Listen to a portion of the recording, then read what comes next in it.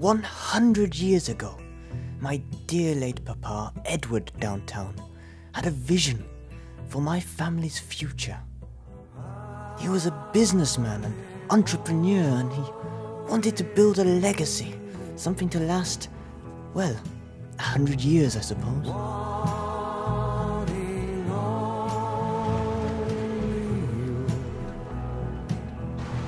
But to accomplish this, he traveled overseas, across the Atlantic, to America.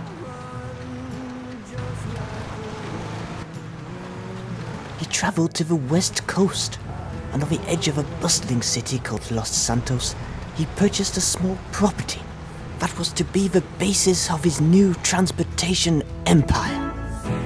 Sing.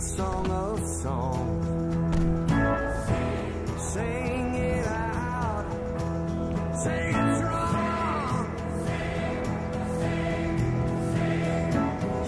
The downtown cab company was formed, and my father set out immediately securing the future of his business.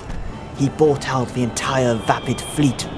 He leveled their showroom and used it to build an impound for his new taxi cabs.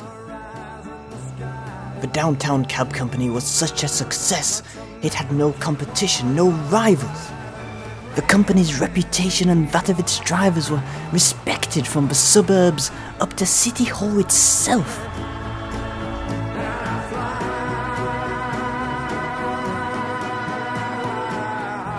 As the years tumbled, my father saw great change to Los Santos, but none more so than that of himself.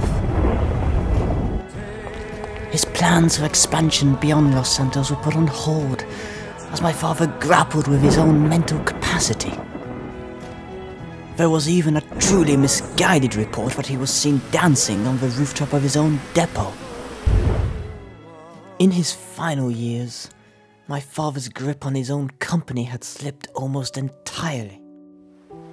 Dodgy advisors, minimal oversight, his once respected drivers replaced with cheap labour and journeyman rogues.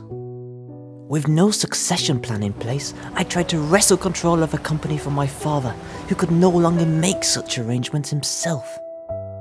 But before I could succeed, it was too late. Edward Downtown walked this earth no more. What would that mean for me? For the family? What would that mean for the company?